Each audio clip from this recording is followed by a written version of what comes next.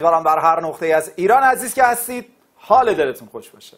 در این ویدیوی آموزشی قرار با همدیگه بریم سراغ حل سوالات مهم کتاب درسی و امتحانی از فصل حد و پیوستگی در ریاضی یازدهم. امیدوارم تا انتهای ویدیو منو همراهی کنید. سال اول گفته حاصل لیمیت 3 منهای رادیکال 2 x به علاوه 1 به روی 2 منهای رادیکال x وقتی x میل می‌کنه به سمت 4 چی میشه؟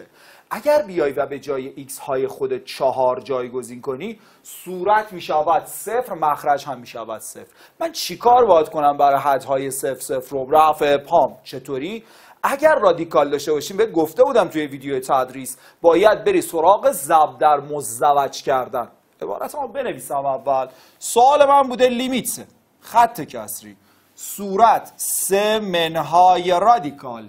دو ایکس به علاوه یک. مخرج هم دو منهای رادیکال ایکس. وقتی ایکس میل می‌کنه به سمت چهار.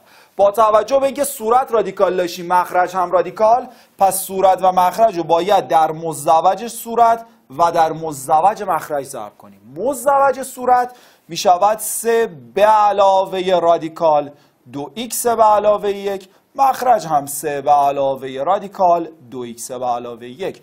مزدوج مخرج یعنی دو به علاوه رادیکال ایکس در دو به علاوه رادیکال ایکس. ساده کنم این می شود لیمیت خط کسری.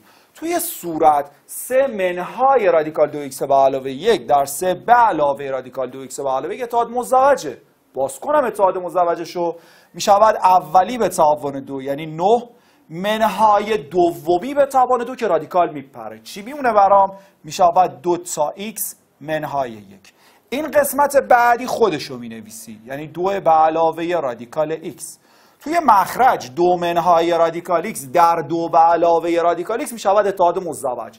یعنی اولی به توان دو منهای دومی به توان دو. در اینو خودشو می نویسی سه به علاوه رادیکال دو x به علاوه یک. حالا چی؟ آقا نه منهای دو x منهای یک یعنی هشت منهای دو x 8 منهای 2 x رو با 4 منهای x ساده کنم صورت واسم یه دو میمونه. اگه به جای x هم 4 بذارم جواب گرفتم. حاصل ایجاد شد. ببین اولی بوده دو. ضرب در. جذر 4 می‌شود دو. دو به علاوه دو برابر است با 4 توی مخرج چطور؟ دو ضرب در 4 8 به علاوه یک 9 جذرش 3 یعنی 3 به علاوه 3 که می‌شود 6 حالا اگر اینو به یه دو ساده کنم جواب برابر خواهد بود با چهار سوم. پس رفع ابهام به کمک ضرب در مزدوج ها مرسی.